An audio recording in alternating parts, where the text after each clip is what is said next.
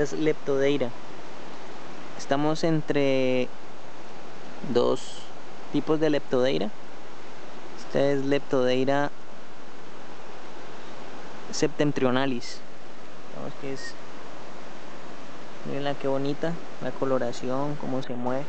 A diferencia de la otra, esta se mueve de manera más recta, la otra era más zigzagueante.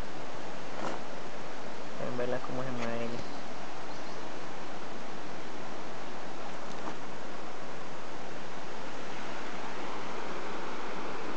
Muy bonita, los ojos grandes.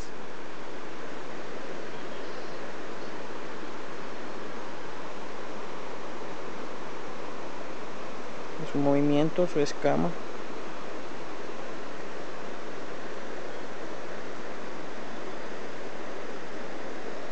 Su lengua bífida.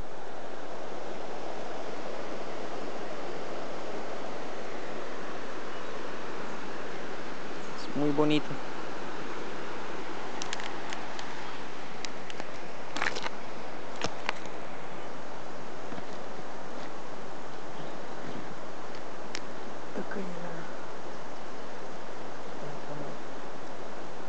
La diferenciamos por el ojo, el ojo es grande, pues uno pues sabe que no es venenosa. Es una colurio con la cabeza triangular,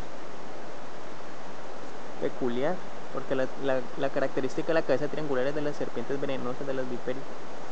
Pero es muy bonito, color café chocolate, los anillos café oscuros muy bonito.